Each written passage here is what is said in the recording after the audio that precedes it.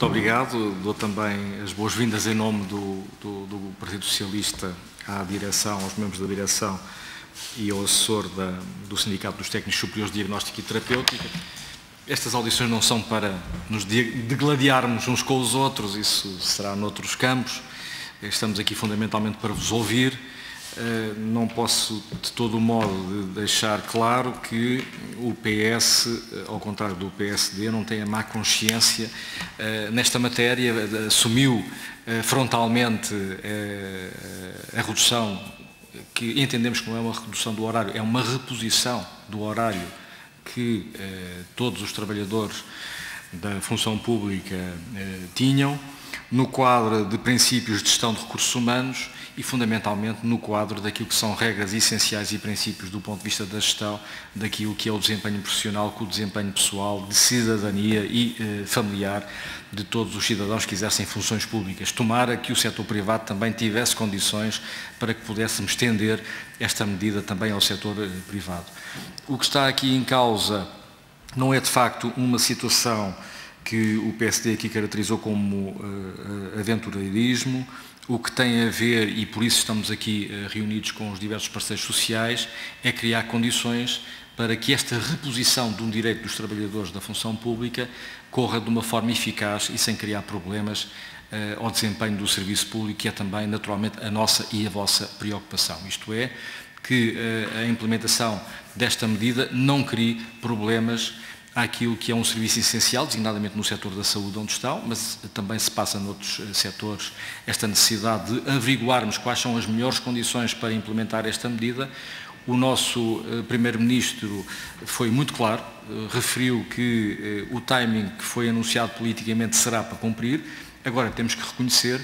que cada setor tem as suas especificidades, tem as suas contingências e estas audiências servem fundamentalmente para recolhermos dos parceiros sociais com o conhecimento e a proximidade que têm aos problemas e ao funcionamento do, do, dos seus serviços as eh, propostas necessárias para que esta medida não tenha eh, consequências negativas no funcionamento dos serviços, designadamente da organização dos horários e do trabalho dos trabalhadores que estão associados em cada uma das uh, organizações sindicais que connosco têm aqui estado a partilhar esta, estas audiências. E, portanto, sobretudo o que da nossa parte entendemos como essencial reafirmar é, um, o compromisso do Partido Socialista para que esta medida seja rapidamente implementada. Dois, estas audiências são muito importantes. Temos aprendido muito com os parceiros sociais que temos eh, escutado nesta, nestas reuniões, no sentido de nos darem um conjunto de contributos para que esta medida corra bem, seja bem implementada, seja de facto depois também bem entendida pelo cidadão utente. Sabemos que estão num setor que é um setor que o Sr. Ministro da Saúde tem dito que tem especiais contingências e, especiais constrangimentos no sentido de, do serviço que é prestado por todos os profissionais da saúde que estão no setor não tenha repercussões negativas nos, nos, no funcionamento dos serviços. E, portanto, nessa matéria o que nós gostaríamos de ouvir da vossa parte é